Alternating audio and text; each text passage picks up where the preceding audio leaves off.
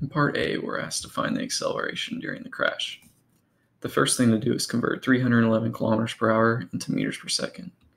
To do this, we multiply by the conversion factor, 1,000 meters in one kilometer.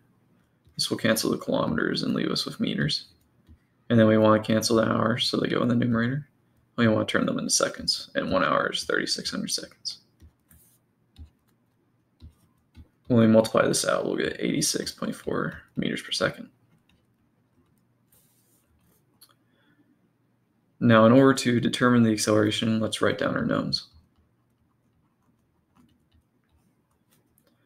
Our y minus y naught, the distance traveled during the deceleration, is negative 0.81.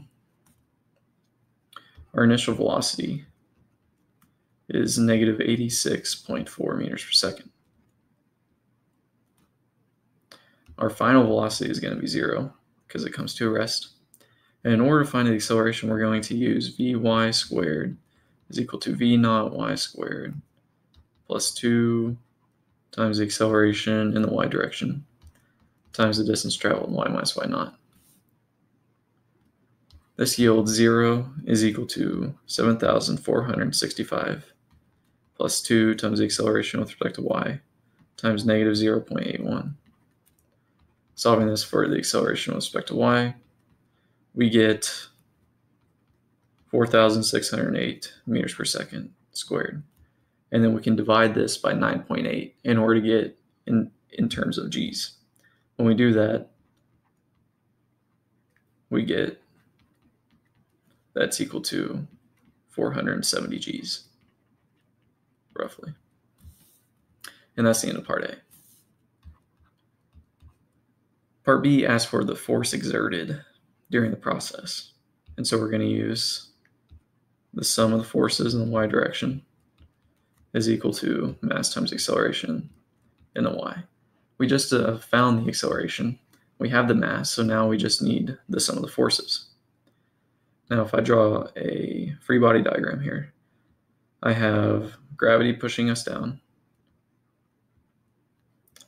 I've got an acceleration up, and then I have the force exerted by the ground up, and we want to solve for this guy here.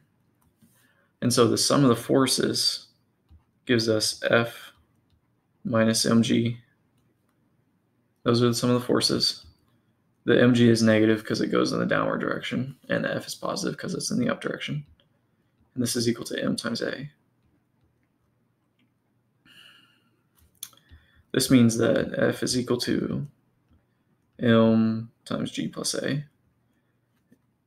which is equal to 210 kilograms times 9.8 for g, and then 4,610 for a, which is what we found in part A. This gives us an answer of 9.7 times 10 to the fifth newtons. And then if we want to convert this into a factor times the weight, we need to turn these accelerations into the g's. When we turn these into the g's, we can replace the mass with the weight. And so the force is also the weight, I'm just going to leave it as w, times these accelerations in terms of g's. So 9.8 is just 1g.